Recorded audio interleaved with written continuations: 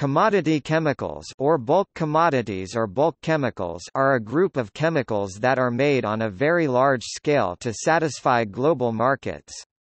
The average prices of commodity chemicals are regularly published in the chemical trade magazines and websites such as Chemical Week and ICIS. There have been several studies of the scale and complexity of this market for example in the USA commodity chemicals as a sub-sector of the chemical industry other sub-sectors are fine chemicals, specialty chemicals, inorganic chemicals, petrochemicals, pharmaceuticals, renewable energy e.g. biofuels and materials e.g. biopolymers commodity chemicals are differentiated primarily by the bulk of their manufacture.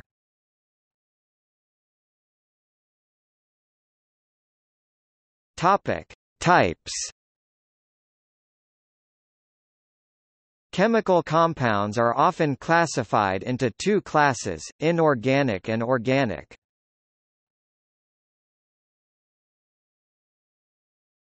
Topic: Inorganic chemicals.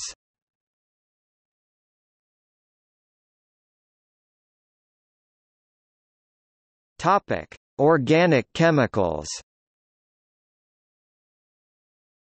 Commonly traded commodity organic chemicals include Topic: Sectors. Commodity chemicals are produced to supply diverse but usually well-defined industrial needs.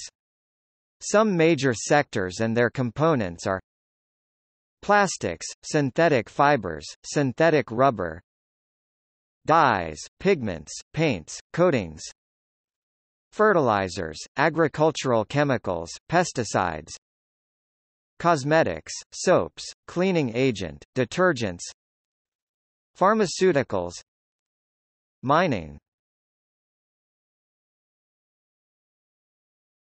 Topic. See also